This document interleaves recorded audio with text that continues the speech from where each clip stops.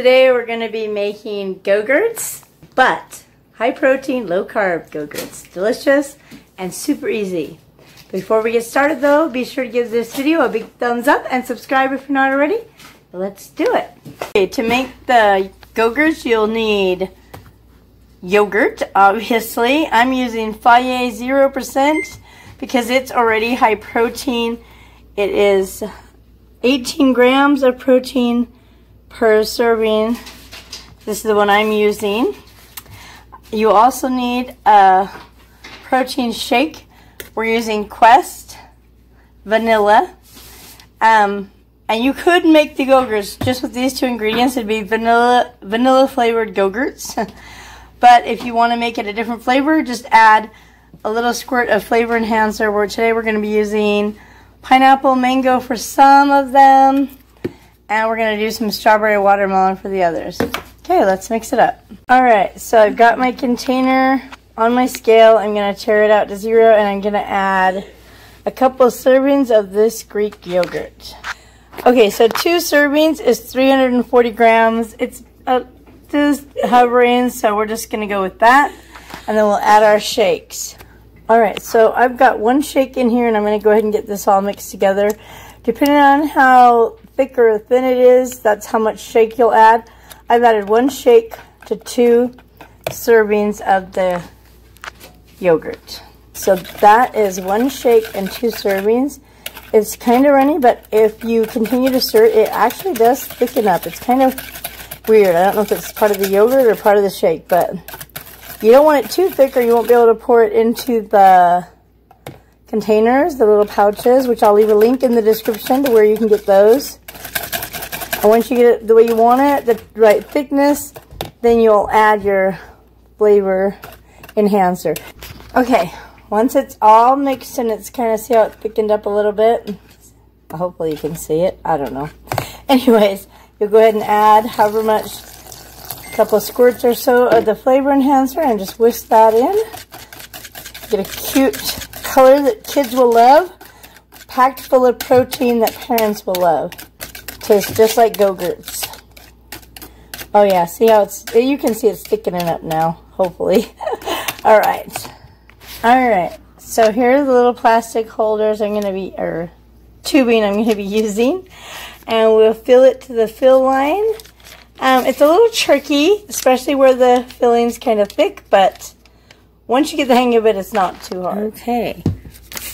Wish me luck. I gotta aim right for the middle of that hole.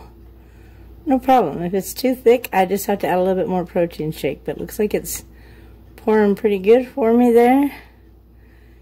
And, yep, stop. Alright, so I filled it to there. And then you just pinch off this top part. And you're good to stick that in the fridge or freezer if you want a frozen Go-Gurt.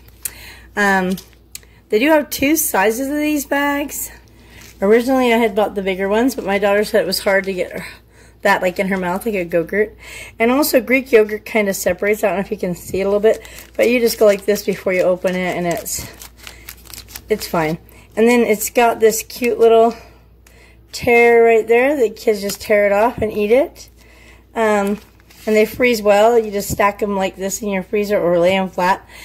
So this is the fatter one. I believe it's 2.66. I'll leave a link for both. But um, I'm thinking she's liking the smaller one better because it'll fit in her mouth easier where it's a little bit narrower.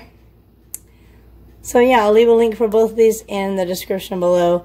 Um, we probably won't buy the bigger one anymore personally and just go ahead and go with the smaller one. Um, yeah, hopefully you like this video. I think that she's going to like this narrower one better because it's more the size of an actual like Go-Gurt tube, if that makes sense. And then there you go. Super easy, super simple. Hopefully you enjoyed this video and you will enjoy making these for yourself or your kids. Um, you could also put popsicle filling in these or whatever you would like. Um, you could make smoothie and pour it in them whatever. It just makes a fun little way to eat yogurt, I guess. I don't know. Um, she likes Go-Gurt, but it has so many carbs in it, you know? Regular yogurt does. And this has hardly any. In fact, we did a comparison. Go-Gurts, let me show you.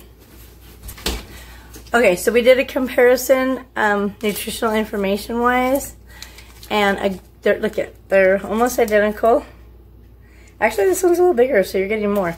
But they both have 50 calories.